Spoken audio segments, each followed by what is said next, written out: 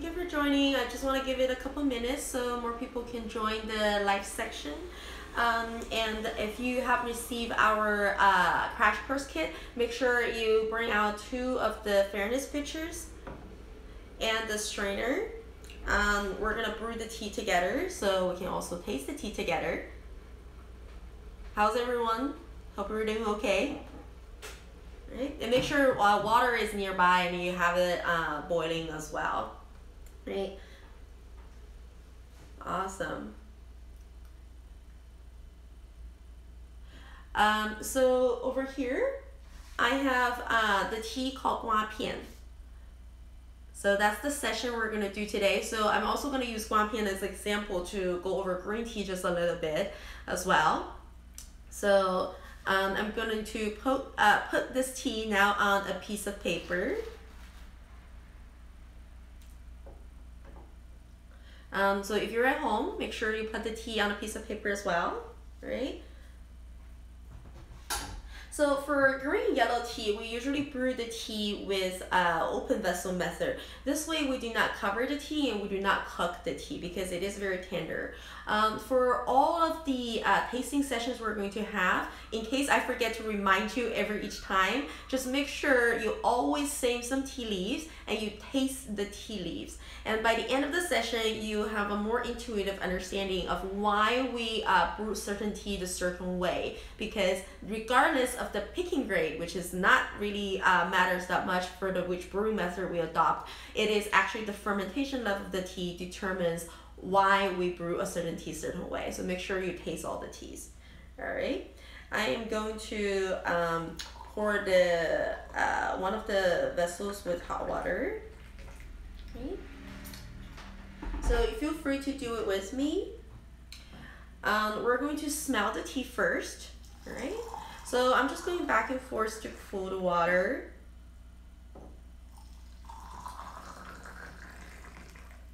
Now for Pian, which is the only green tea in China that use only leaves, no buds and no stems, because there's a little bit of a uh, opening of the tea leaves, we are looking for a relatively low temperature, but not too low. For this particular one, I would say about 85 degrees Celsius is pretty good. So going back and forth for a few times can help cool the water down and also serve the purpose of warming the vessel. Now this is a tea with a very grassy note. It has also been flash roasted, so it's kind of toasty as well. And now we're gonna slide the tea um, into the vessel.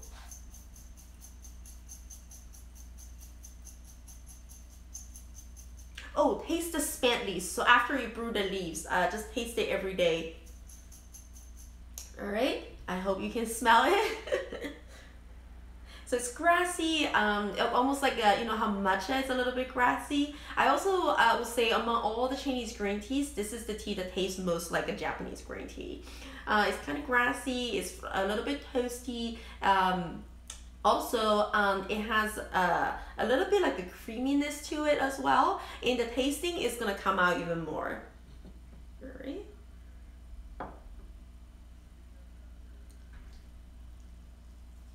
So this is Gua Pian, G-U-A-P-I-A-N. And when you pour the water in, just make sure you pour around the rim, not at the center of the tea. And the water level should also end up just at the neck. Yeah? Pian. So it's the green tea. This is our uh, day one of the uh, 10 day crash course. So when uh, if you haven't received the tea from us, it's the uh, the G U A P I A N, the Pian tea. Yeah. Cool. The full schedule is also in the newsletter that Lori has sent, so uh, you can check uh, and get the teas prepared every day as well. All right. So now I'm going to let the tea brew for a little bit take a uh, pay attention to the level of the tea leaves and um, you know I'm gonna continue to talk and we can pour the tea out together. So Guapian is a green tea. Uh, now um, throughout the session we're gonna try uh, eight distinctive styles of tea. But on the first level, there are six different categories of tea. So you have your green tea, yellow tea, white, oolong, red, and black. And remember, the Chinese red tea is the Western black tea, and we do have our own uh, black tea um, and you know we have we've had it for a while, so it will not be fair for us to change the red tea to black tea. But anyway, um, so green tea, long story short, is the tea that tastes the closest to a fresh tea leaves. It maintains a lot of the tea's original taste. It is also the tea that allows the among all the teas that's allowed to be a little bit bitter. And um, uh, to make green tea, a very critical step is the kill green step. It's basically you apply very high heat to the tea leaves and you kill all the enzymes in tea and that's where you get the green tea. There's more, uh, a lot of the details in the processing that ensures uh, a very different quality of the different green tea. But regardless, you have to adopt the kill green step. Uh, depends on the details in the in the processing method um, the we use for different green tea. There are also four subcategories for green tea. This is a, a style of green tea that belongs to the subcategory of Hongqing or baked dry green tea. So just like the name suggests, it has been baked dry. So um, to make guapian, by the way, guapian means uh, sunflower seed. Uh, actually, it, it means sunflower seed piece. Um, it comes. The name gets uh, from the, the the shape of the raw leaf picking. That because they have been destemmed, so it kind of look like a sunflower. Once the leaf opened up, we're going to take a look at the leaves, and you'll see why. Um, it's often mistranslated, however, as um, uh, melon seed. This has to do with the Chinese language. When you uh, combine melon and seed together, you get sunflower seed. Uh, if you add west before the word, so west or western melon seed, you get melon seed. Um, it's just a Chinese language thing. All right. So now the tea leaves have fallen a little bit. You can see it has occupied a little bit more uh, in the vessel than before. Now we can pour the tea out. And just make sure you always leave some liquid with the tea. So you go around the strainer.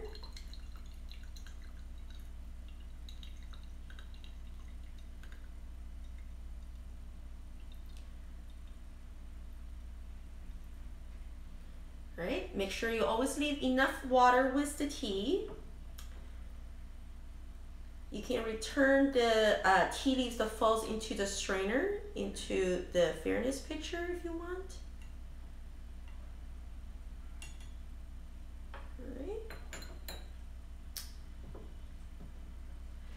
And now we pour it into the cup. Remember, pour it 70% full, right? And we sip it. Hmm. So that very grassy vegetable note is what immediately comes out. Um, it's a very refreshing tea, but at the same time, notice how bold the body is this tea has, especially for a green tea, because green tea is not typically known for having a very full body.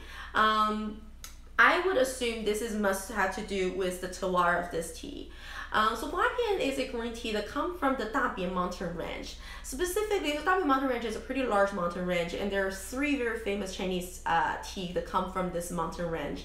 The uh, uh, province that this tea comes from is called Anhui, even though the mountain range actually expand to uh, multiple uh, provinces.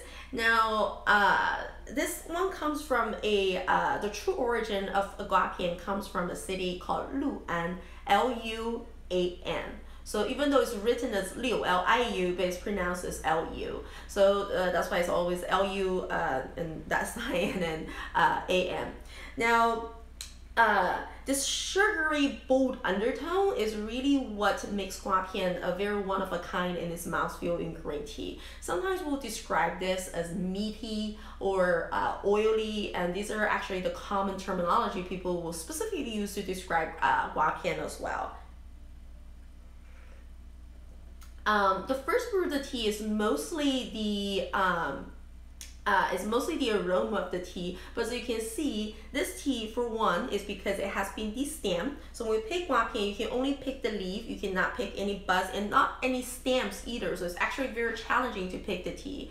Because we do that, um, there's going to be a little cut or a little opening at the tea leaf with the tea leaves so you have more color pigment getting steeped out usually you do not see the color green color pigment coming out from tea but this one does um, So it has the most neon color out of all green teas that China has. And this is also what attributes to the, um, sorry, contribute to the, to the grassy note as well.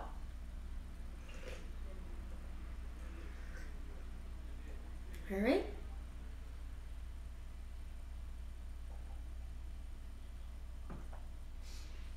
Because our time on the screen is limited, I'm trying to do all of this in half an hour. So uh, I'm not gonna finish all the tea. I'm going to put it in a cup, set it aside so I can drink it later. If you're uh, free to do the same at home, you can either drink it or you can dump it. I already had a lot of tea today. Right? And now I'm going to do the second brew. And remember, for green tea, not only we're using the open vessel, but you always want to pour the water onto the wall of the vessel to make the tea swirl.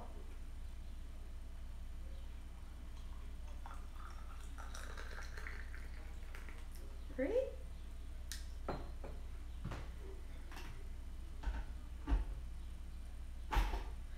Um, so now the tea has occupied about half of the vessel, so it's mostly upward, but just like about half of the vessel, so that's pretty good as well. All right.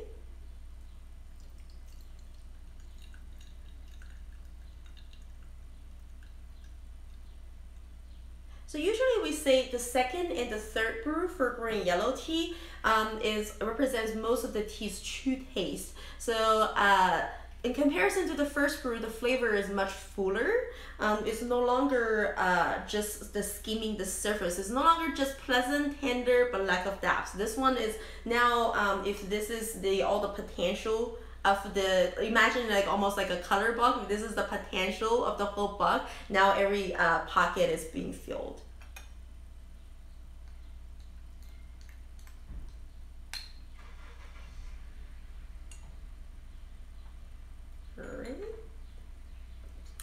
Um, I also want to maybe grab a tea leaf and then uh, start showing you what we mean by picking only the leaves. So here, oh, this is the broken one. Here. There we go. All right, so see, this is a picking of guapian.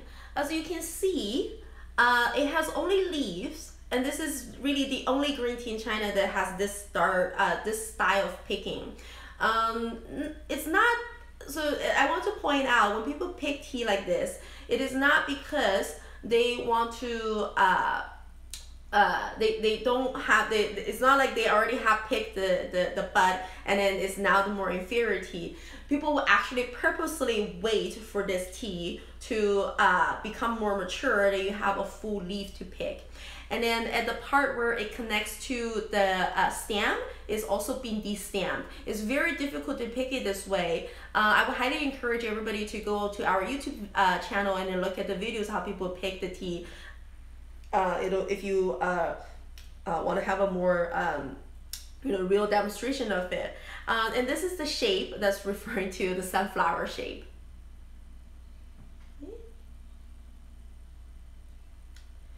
Let's taste the tea.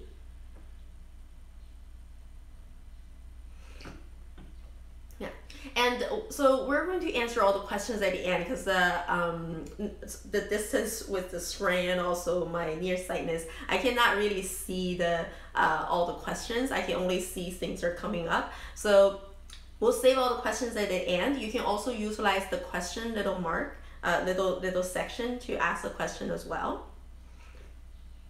Mm. Yeah, so you notice the tea is a little bit more tannic. Um, an awesome thing about guapian, I would actually highly encourage everybody to do save your undrank guapian uh, in the real time today. And what you can do later is you can shake it in the container vigorously and it'll literally taste like a matcha latte. Right? Um, so when you pick guapian, you first pick just the leaves.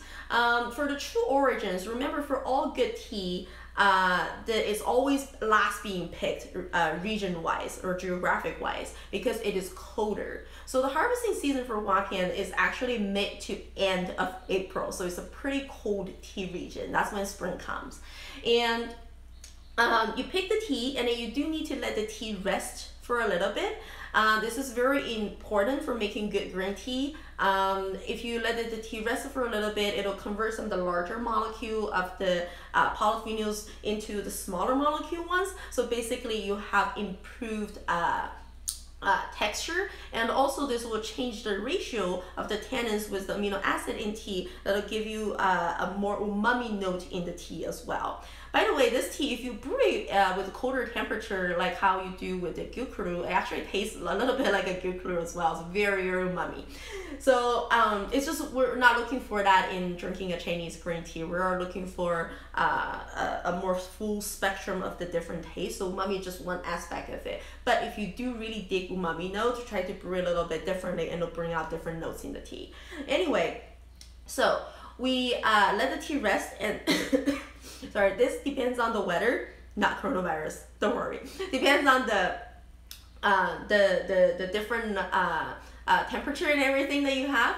You can uh, either um, uh, let it rest for a few hours to uh, you know uh, up to like an hour. It really depends on the weather and everything. Um, and then the kill green step happens. Uh, for guapian, people actually do it in uh, like a little uh, they'll sit down and then have the wok is tilted, so it's kind of stand up wok. And then people will use little broom to do the tea. Back in the days, they even have a little bit uh, a thing almost like a carpet beater to do the tea, and so they do not use hand. It's much much more difficult to not use hand uh, to make tea because you lose your uh, sense of feeling and also um, it's just now you have to to to teach a tool to listen to your brain to maneuver that. Uh, it's very tiring. And um, all traditional chinese uh, green tea uh, up until very very recent are all wood fired. So all the teas that we have are wood fired or charcoal fired. Um, uh, in the uh, last couple of years, people start to use uh, natural gas as well, but usually it's, uh, it's wood fired. And uh, so people usually have three different woks and the three different woks even though in uh, two to three woks but three woks will be the uh, will be the most ideal uh, and efficient so uh, even though they all look the same, but they actually have different temperature. So the first wok, you will uh, basically respond. It has the highest temperature and is responsible for uh, killing all the enzymes in the tea. And then the second wok is for making the shapes. You adopt a rolling motion, and this is what makes the guapian curl up. And then the third uh, wok is to ensure that. And afterwards, the tea is taken off the wok, is sift all traditional Chinese tea needs to go through rounds and rounds of uh, refining process. So it's then shift, uh, sifted, and then after it's being sifted, you can then uh, or sorted, you can then put the tea on the baking tray uh, to uh, let it bake dry. And this takes a much longer time. It can take hours at a time, and the baking is always using charcoal. And then at the end of the uh, the, the, the, the day and so this is already uh, past midnight so you're looking at uh, uh, like early mornings and long nights and things like that and so um, uh, you can then uh, bake the tea dry again. It's usually twice baked to make sure it's dry dry. So now the tea seems it's already dried, but it's not. Uh, so you're gonna let the tea kind of uh, just rest for a few days and it'll start to feel not crispy anymore and uh, you then take the tea out and you bake it dry again. And this is called pulling the small fire. Um, and then after that you let the tea rest again. And then uh, this depends on the weather. It can take uh, up to a week three four days a week um, and then you take the tea out again, and then this is a signature step of tea of the Lu'an region, is where you put uh, about 20 pounds of the tea. Uh, you can you can do it with different batches, but for Guapian, it's about 20 pounds of uh, the tea onto the baking tray, and you have uh, two people to uh, repeatedly walk this tray of tea over a charcoal bonfire. It's very, very hot. We have pictures and um, our website and we have videos on YouTube. So take a look to get a more uh, intuitive understanding of what it is. Uh, so what happens is this is a very, very risky step. And in making all good teas, we keep looking for risky thresholds.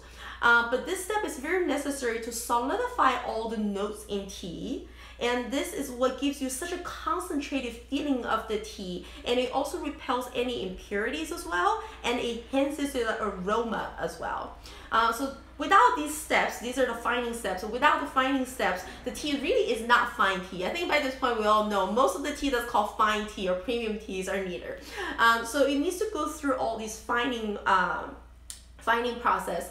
And um, uh, so along the way we keep sorting and sifting the tea. So with 20 pounds of tea you really just end up with like about 12 13 pounds of the the final tea um, now um, nowadays majority of the guapian are all made with machines it's very uh, few handmade guapian in the market anymore uh, this one comes from the uh, most sought after village called Qishan. Uh, let's have more of the tea I'm actually going to um, pour the tea out again. So we can move on to the third brew.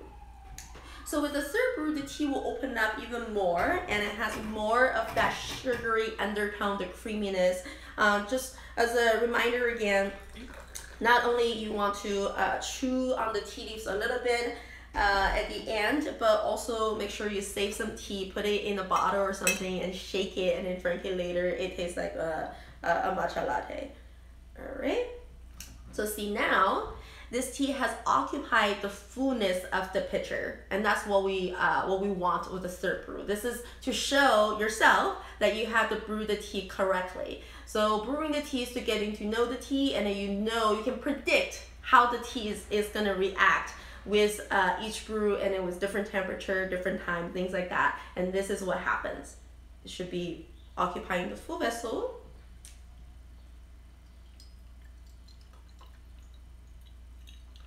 We're gonna pour it around, but make sure you save some water. Always, always save some water.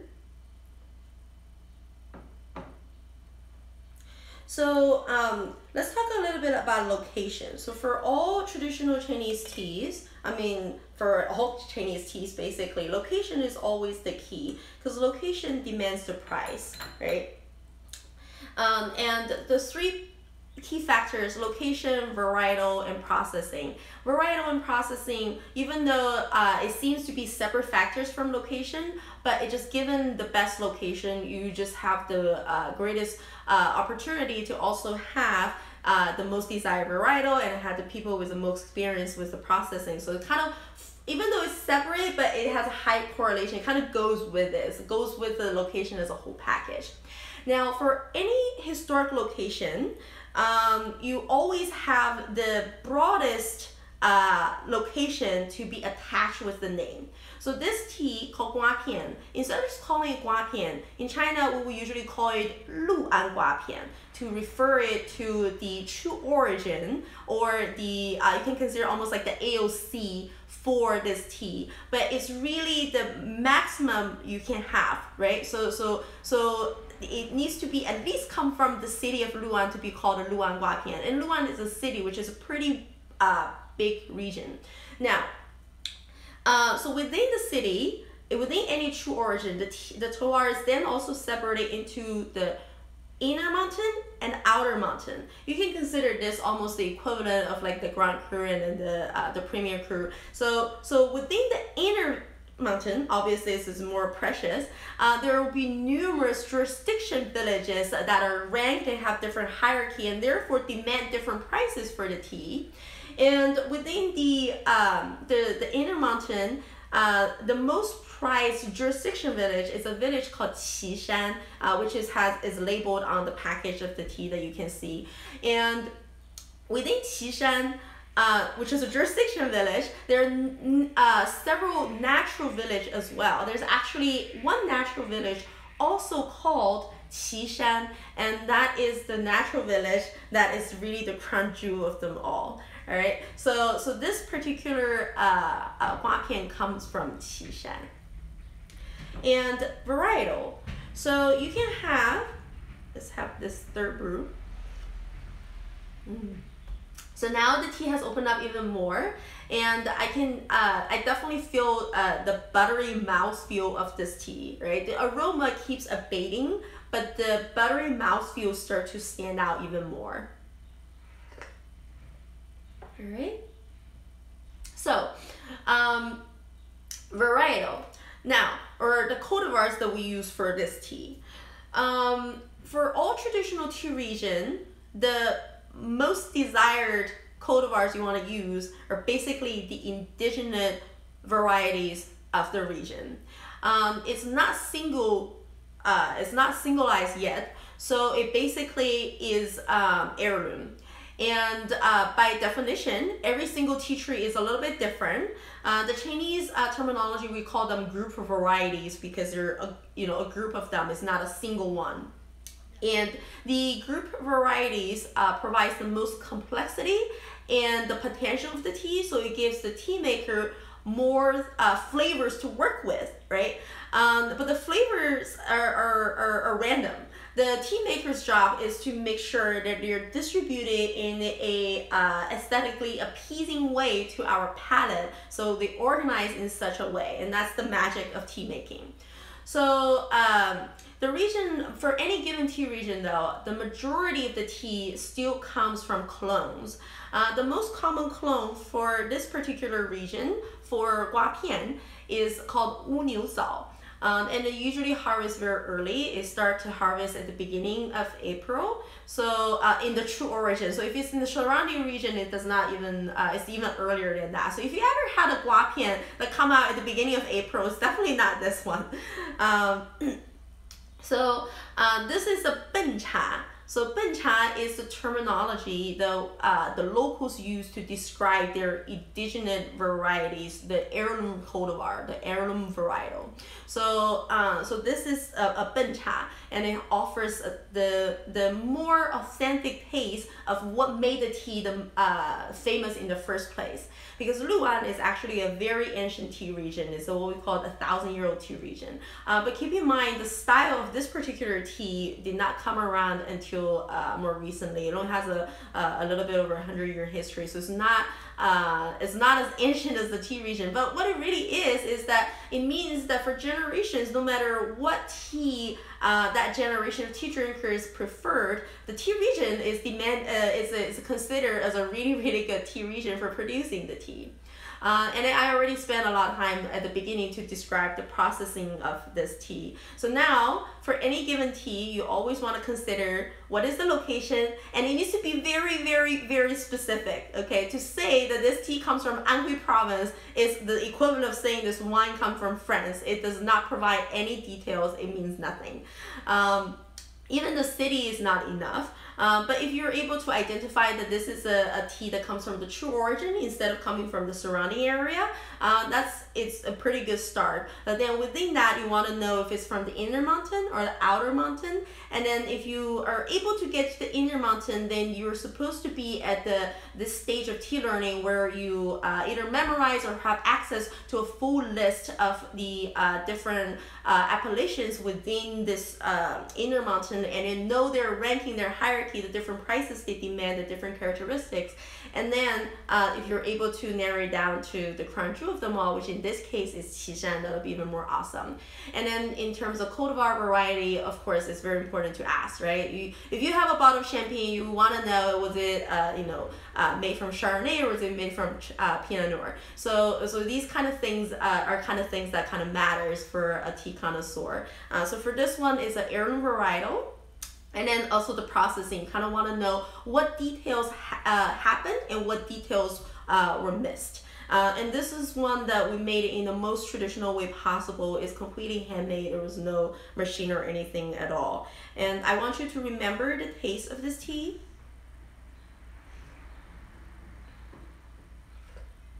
Wow, it tastes very sugary now too. This sugary undertone is definitely what uh, tea that comes from this particular region um, has in their characteristics because the other two uh, famous tea that come from this mountain range also have a similar trait even though they're processed completely differently.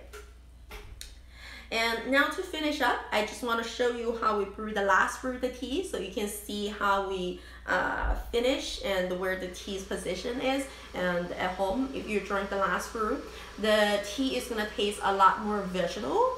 Uh, the tea, the spent tea leaves will smell a little bit grassy, but mostly vegetable and should always finish very clean. It will not have any kind of funky taste, uh, things like that, or funky aroma. And if you attended our brewing class, I hope this is a good, refreshing uh, course for you. So, uh, you know, you're getting the result that you want at home.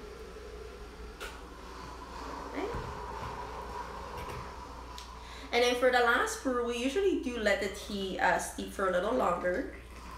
Yeah, and if you are not able to make guapian swirl, don't worry. Guapian is a little bit more challenging to swirl than the yunwu that we have used during the uh, the brewing course.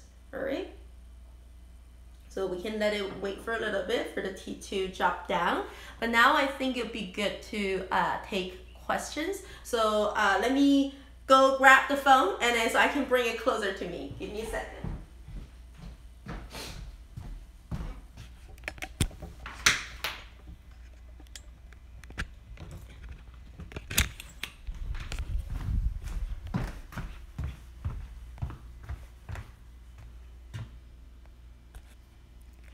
Uh, all right, so if you have questions, please let me know. Water should be boiling or what temperature? All right, so um, I always start with boiling temperature, but for this particular tea, I would give it about um, uh, 85 degrees Celsius given the weather I'm in now, which is uh, pretty comfortable indoors. Um, depends on, because remember, we're letting time pass by as we brew the tea. And because of that, you always want to consider the end temperature. So if it's really, really cold uh, where you are, then um, you might want to adjust the temperature a little bit higher because it's gonna, temperature is gonna decrease at a higher, uh, a faster rate than uh, where I'm at. Uh, I always start with boiling because uh, my sense with the temperature is much better when I start with boiling and let it cool down. Um, if I don't do that the other way around, I feel like I don't have a good grasp on the temperature. And also weighing down, remember, we always use higher temperature, not lower temperature, because with higher temperature, you can always take it out um, uh, faster. But if you use uh, lower temperature, you're just stuck. Oh, if you like guapian, what other green teas uh, should you try? So guapian's taste is very, very unique in Chinese green tea. Depends on what you like about guapian. If you like the grassy aspect of it, the only Chinese very grassy green tea I can think of um, is actually a um, a green tea that's it's not very common in the in the states and it's not considered first tier historically famous tea in China either called Yongxi Huoqing. Uh, I doubt you'll find it here though. Uh, that one is also a little bit grassy. Uh, uh, a lot of Japanese green tea definitely has the grassy aspect of it. But if you like um, uh, the toasty note of the green tea, uh, I would say uh, some of the classic Chinese nutty green tea, like a Longjing, would definitely satisfy that. Um, if you are craving for the sugary, uh, thick, uh, buttery undertone, I would recommend Maojian. But just keep in mind the the the, the front notes of Maojian is very different from Guapian.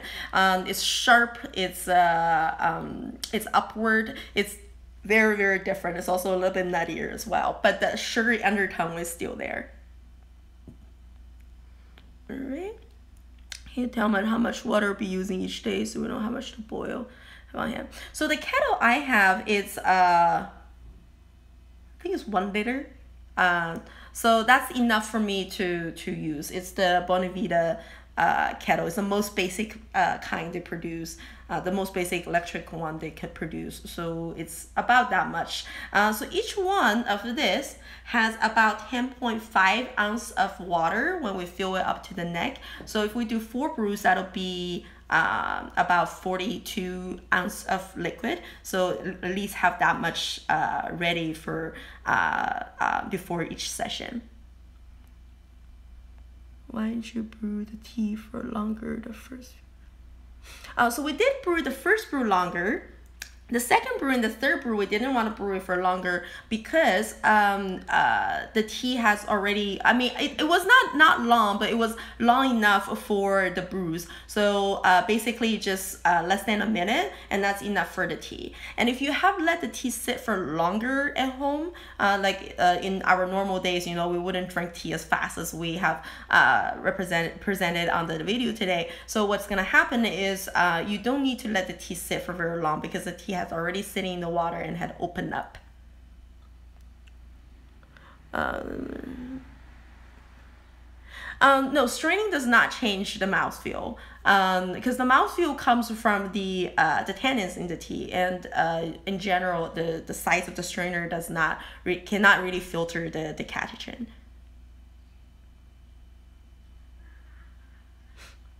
Um, to swirl the tea leaves, it really depends on how realistically you can do so. So for green yellow tea, it's kind of necessary. You get judged by your uh, by your peers with your brewing. If you're able to make the tea swirl, that's kind of uh, like the basic. You had to do that. Uh, for all the other teas, especially with Gaiwan, uh, if you with oolong, you know there's so much tea in the in the gaiwan. It's so heavy, it's almost impossible to make the tea swirl. But if you have white tea and things like that, if you are able to, you can make the tea swirl this way instead of this way. So that'll work too. Uh, sure. I'll I can write down the name of the the cultivar in just a second. Um, and the type of the water we use uh, at the tea house is uh uh, it's, a, it's a filter water. So it's New York City water first, and then we filter it. Uh, New York City water comes from uh, and we we work with a local water water store. Uh, they're no longer there, but uh, they're very nice folks. And then uh, we did a couple rounds of water tasting, and we tasted many different kinds of water. We eventually set it down on this filter. It basically filter out uh, like the whatever the government adds to the water, so it kind of revert water back to Catskill water, and it's very good. Uh, what does it mean by clone? So, uh, so basically means that the varietal has been stabilized. So it was not, uh, there's not a mother tree and a father tree and it got married and it had a seed. So you take the sapling from a tree, uh, and people usually do that in a, a controlled environment. So you have many, many, many saplings and then you just plant the saplings. Yeah, so it's the varietal stabilized. It's not, um, I don't know what's called in English, but in Chinese it means uh, there's no sex happen between the plants.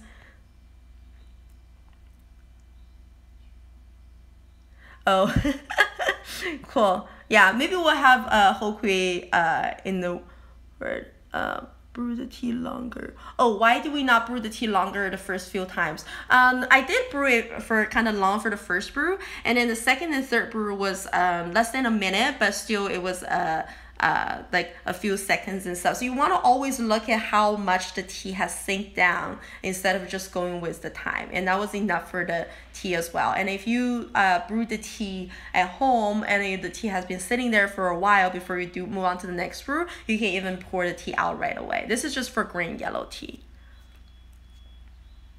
hand picking general is still better than machine. Uh, of course, especially uh, for the better tea. So right now, so hand uh, there are two aspects to hand making picking versus machine picking.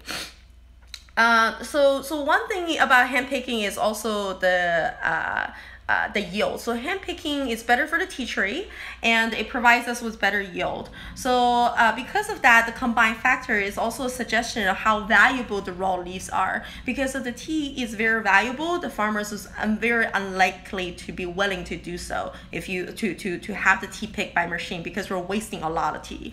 Um, and also, uh, hand picking obviously is more careful attention paid to each tea. It's better for the tea. Uh, and for certain tea, for like guapian, it's impossible to pick by machine. There's no machine that can pick just the leaves. It'll your um, subsequent uh, work to sort out the, the desired tea is going to be daunting if you didn't do that in the first place. All right. Yes, we do not use closed vessel to brew Chinese green tea. Do not use a gaiwan to brew Chinese green tea. Uh, all right, do look for in terms of uh, taste with zero versus two three. Right. So um, a green tea has a highest so for all tea you always have the risk of oxidation. Oxidation change uh, how the tea originally tasted. Um, and i want to point out that uh, ox- with oxidation a lot of times the, tea, the taste of the tea actually have would round out and it sometimes it makes certain tea become more drinkable but uh, in general, it's not considered desirable. With green yellow tea, as time goes by, you have a higher risk of oxidation. If you keep the tea really well, uh, it doesn't really uh, you can you can mitigate this risk basically. So as the tea oxidize, um, it'll become a little bit sweeter. And, uh, it'll become a little bit less complex because a lot of the tannins have been running out as well. So so that's the main uh, aspect of the tea with oxidation. So uh, also like that's a inherent risk you're gonna have with the tea uh, going through a longer period of time.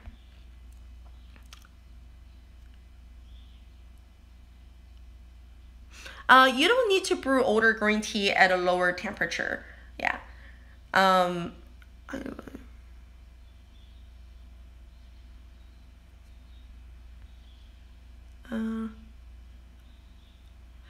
um, well, I think depends on so somebody uh, asked you know about purchasing. If you don't uh, have uh, money for super uh, fine tea what do you do? Um, well that really is a is a choice of your own. Uh, i mean it's i don't know what to what to say about that right? So you basically you uh, you can you can you can you know if you love tea so much right? Uh, like there's circumstance where I just prefer tea. Sometimes I go to a hotel a rural hotel in China they have those complimentary tea and I don't have anything on me. So uh, I rather drink that tea than no tea so I would just do it anyway. So it really depends on you know just uh, it's it's like it's a everybody's individual decision on what you want to spend on tea uh, or on anything really. Yeah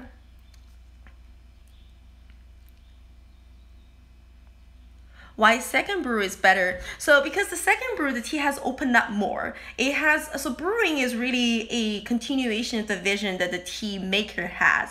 And what the vision the tea maker has in best practice should really be to fully realize the potential of the tea. So let's just say if the tea, uh, the full potential of the tea, the tea is, uh, wants to give you, uh, uh, 10 different elements in the taste. It tickles full of your mouth. The first brew, the tea hasn't really opened up yet, even though it's pleasant, but it doesn't hit all these uh, parts yet. It doesn't it doesn't give you the full picture of the tea is able to do yet. And in the middle brews, the tea will have more uh, will have fulfill more of this potential. That's why it's considered better.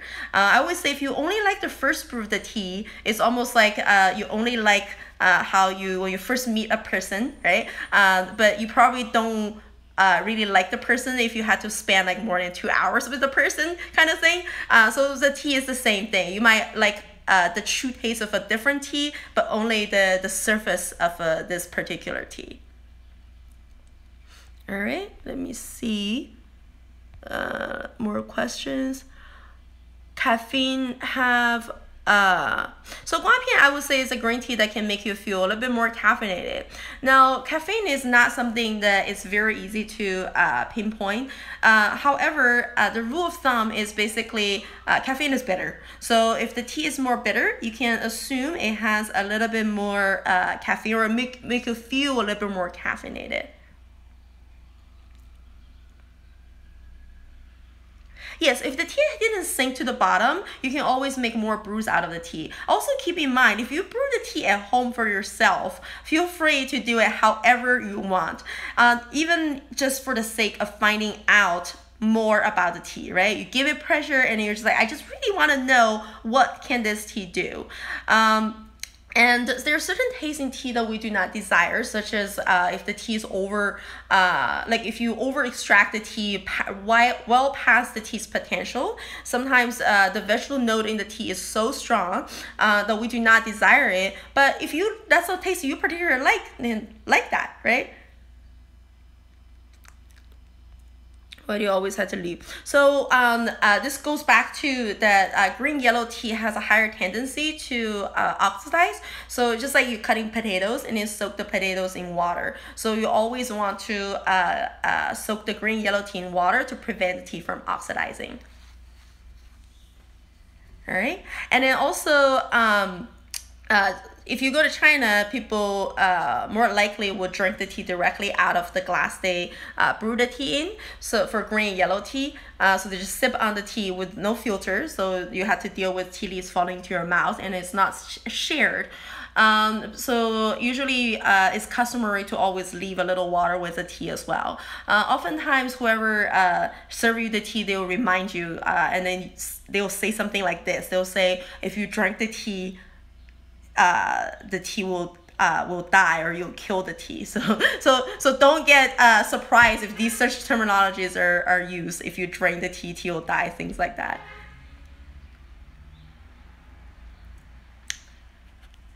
Uh, yes, so so tea bags uh, definitely you know um, right now it I would say it's not tea bags fault. It's just given the current uh, tea world we're in, um, the tea that's in the tea bag usually are not very good. But tea bag itself, I think, is a great invention. You know, uh, I actually have uh, those uh, uh, like tea bags that you can put tea in. So if I have you know the last part of the the tin, which is very dusty, the tea, uh, I will put it in the tea bag and then drink it like that. Uh, so tea bag I think is a great invention, but yeah, currently if you just buy the tea off the shelf, that the tea that's inside the tea bag probably is is not very good.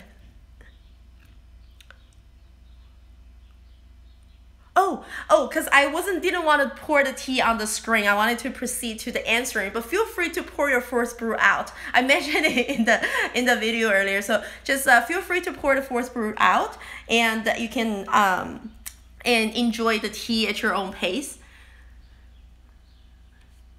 Uh, but even if the tea is still steeping, usually it's fine, especially if you control the temperature really well, because eventually you reach this equilibrium and the, the brewing will actually drastically slow down and it will not over extract the tea. We need a different tea teaware for each tea variety. Uh, no, you don't need to do that. If you use teapot, uh, in a way, yes, because the shape of the teapot actually does impact uh, how uh, the the temperature inside of the the teaware works. So so that's why um, using teapot, even though it's uh, more convenient for the brewing, but it's actually more complicated in uh, in in into because it's more limiting based on our ability to maneuver the tea. So it's actually more challenging if you want the same result using teapot. Uh, usually, I would say you had to use the teapot to fit the tea. So different size, different uh, height, different shape of the teapot to fit different style of tea. And if you use teapot as unglazed, which means it'll actually uh, take the stain and it'll take the residue from the tea and develop on the teaware, then uh, then yes, you probably want to use a different teaware for each different tea just because of the residue. So there are two different uh, things about teapot. How should you store green tea? So um at home, I will actually uh, encourage people to store green tea uh, in uh, uh, refrigerator is fine. Um, I do not want to uh, encourage if you are selling tea, do not do that because if you store the tea in a freezer or refrigerator, uh, when the tea is taken out and then the customer take it home, uh, it's gonna have a problem condensation, which is a much much bigger problem than oxidation. Um, so uh, and you just do not want this kind of uh, fallout of expectation your customer have once they have the tea home and it has condensation. So uh, but if you have tea at home, because it means that you're only gonna take out the tea to drink for that one round, uh, you wouldn't even have uh, enough time for the tea to develop this problem condensation. It's actually a very good method to store green tea. It'll take the it'll it'll it'll add at least a year a, a lot a year uh, longer to keep the freshness of the uh, of the green tea. But uh, in household though, usually you have other things in the refrigerator. So uh, unless you can dedicate a section just for tea storage, uh, sometimes the aroma of your, your, your, your, your groceries in the refrigerator can also interfere with desirability of the tea. So these are the factors you want to consider. But uh, in general, yes, uh, keeping tea at a very low temperature is very good to uh, prevent oxidation. Um, using a gaiwan is definitely more universal. I always say gaiwan teapot is like um, so teapot is like an automatic car and gaiwan is like a manual car. For the most part, they do the same thing. Um, but with a gaiwan, it's uh, you have a little bit more maneuverability and also uh, you invest a little bit effort in learning how to use the gaiwan at the beginning, and then uh, it's so much easier to clean. Uh, it's so easy to maintain, so easy to clean. Um, it's just for people who folk have a greater focus on the drinking tea itself. Um, I think it's just a much better solution. Yeah it's almost like uh, do you want to keep a whole bunch of very complicated uh, appliances around or do you want to just have a really really awesome cast iron wok that is you you, you can use for anything? It's really just that kind of question uh, for you know one's decision on cookware. I'm getting authentic but uh yeah, the bug bite tea is a big, big problem. Uh, many years ago, um, I actually had this discussion with a scientist in uh, Taiwan, and he uh, was voicing his concerns as well. He was so confused at how, um, you know, that particular kind of pest uh, that's supposed to give the tea bug bite, uh, they are a big problem in um, they're really a pest, right? It's a very big problem um, uh, in the in the in the tea agri- agriculture, and then uh, to uh, people try to prevent it and things like that. So it's very difficult to control a pest. Uh, so how people not only they're able to control the pest, but uh, these bugs are able to bite the tea leaves just at the right time extract just the right amount of juice and leave the tea without causing an actual uh, problem that year is uh, is really outside of a, a scientist's understanding. So because of that, I'm very suspicious of the authenticity of all bug bite tea. Uh, yeah, you don't want to use a gaiwan for green and yellow tea, um, but play around with it though and you notice why. Uh, so basically the tea will oxidize very quickly and also if you cover the tea, it'll change the flavor of the tea. Remember, when you do this at home, right, you can do it without anybody's judgment and then you should always do this, do these things and to just experiment. Uh, and then see the difference and then understand why we don't use the gaiwan to brew green and yellow tea. Um, I, I brew green yellow tea with the gaiwan for uh, these reasons. Uh, one is if I don't have the option of a closed vessel, right? So you can always, you know, improvise and use a gaiwan, just don't put the lid on. And secondly, it'll be, um, uh, sometimes I, I really need to wake up or uh, help somebody to wake up, I would concentrate. I'll pack a lot of tea in the green and yellow tea in the gaiwan, uh, and I flash brew it very quickly. So if I do it really fast, if I finish drinking tea really fast, it I can also using time alone to mitigate the risk of oxidation, right? Uh, and it produce very concentrated green yellow tea, and it's a it's a different kind of taste, and it give you a different kind of satisfaction. I don't know. It's just like you know, it's like uh, green brew tea is very much like cooking. Sometimes you change things around, experiment a little bit. Uh, it give you a kick, um, even though that's not your preferred everyday method, but you do that once in a while. Uh, do you currently have different timings? Um, yes and no because time is not a standalone factor. It has to do with the water to tea ratio and also has to do with temperature. And temperature is not just the temperature of the water that goes into the vessel before you brew the tea. It's also the temperature of the water while the tea is brewing at the point when you pour it out so which has a lot to do with the surrounding temperature, right? Is it in the winter? Is it in the summer? Is it is AC blasting? Things like that. So uh, because of all those, it'll all change the time. That's why we usually don't go with time. We go with how much the tea has opened up. Mm, I know that. Um, I I actually really do not uh uh, do not drink tea when I don't feel very well. Um, because tea, not only, it's not only because tea is not medicine, but in China, uh, the culturally, uh, we're also advised to not drink tea uh, when you're not feeling well, just because tea is, even though it's, it's gentle, it's not a medicine, but it's also not neutral either. So you kind of do not want to uh, alter the uh, alter the, the your body condition. And we'll go with either actual herbs or um, the best advice uh, a Chinese doctor usually give you is actually to just uh, stay as neutral as possible. So we'll uh, eat things that's not very salty, not um, uh, stimulates you too much, you know, not very spicy, things like that. And then tea kind of falls uh, in line with something that will still alter your body condition a little bit. So we were usually just advised to drink hot water. Uh, unless you know specifically, you know, if I have a cold, I'll probably have some um, uh, ginger uh, right? Even if I'm uh, feeling very uh, heat up, sometimes I will boil some pear to drink things like that. Yeah, but I usually wouldn't drink just tea. Yeah. Uh,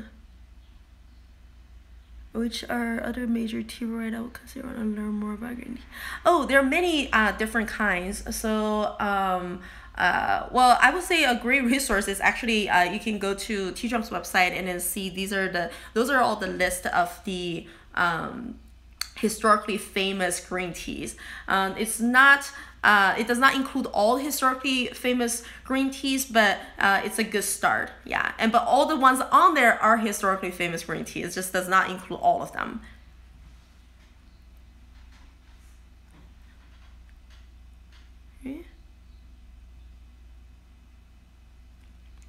Um, so teaching for pregnant people, um, I have never been pregnant my whole life, so I actually also don't cannot speak anything from my personal experience.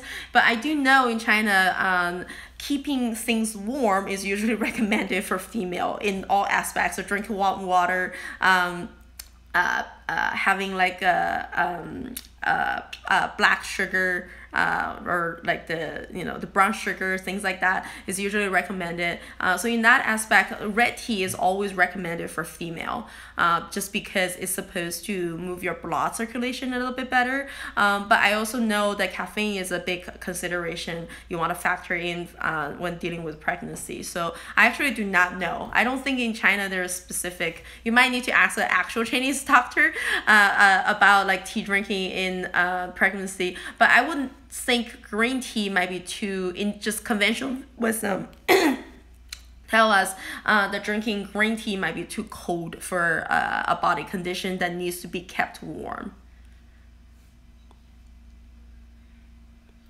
Uh, yes, I definitely recommend to not drink uh, not drink any tea on an empty stomach.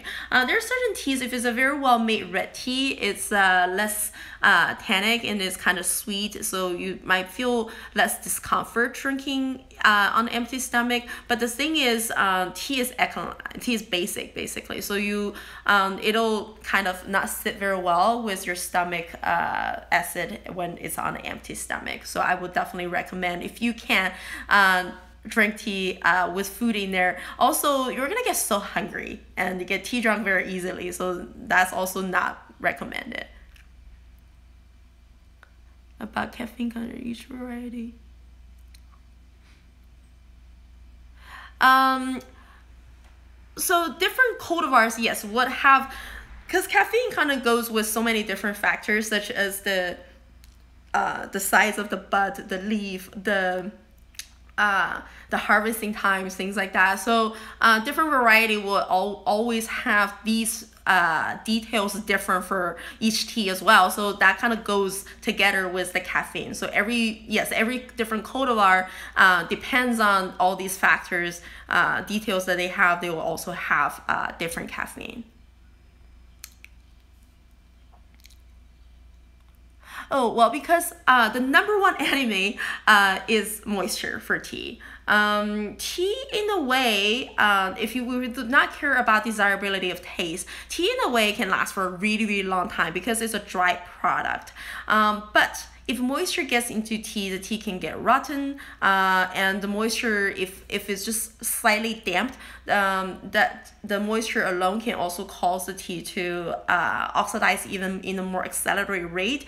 And if you have too much moisture, it'll eventually grow mold, things like that. Uh, so yeah, moisture can completely alter the tea. It can make the tea taste funky, really bad. It can even be damage to uh, your health. So so condensation uh, is a much bigger problem than oxidation because oxidation is um, how do I say? It's like it's it's you know when uh it's it's it, when the tea tastes like a little bit less uh, than optimal, but it doesn't really uh, kind of hurt you. But condensation, if you don't manage it really well, it can be very damaging to the tea and possibly to the drinker as well.